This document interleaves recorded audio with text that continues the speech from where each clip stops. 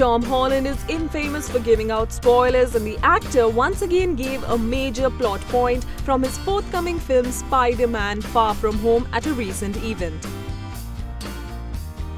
At the event, the actor got on stage determined not to give away any spoilers, as he said, What can I say without ruining it? When asked about the actor Jake Gyllenhaal entering the franchise with the role of Mysterio, Holland ended up spilling a secret from the plot. He revealed, Mysterio is my new best friend in the movie.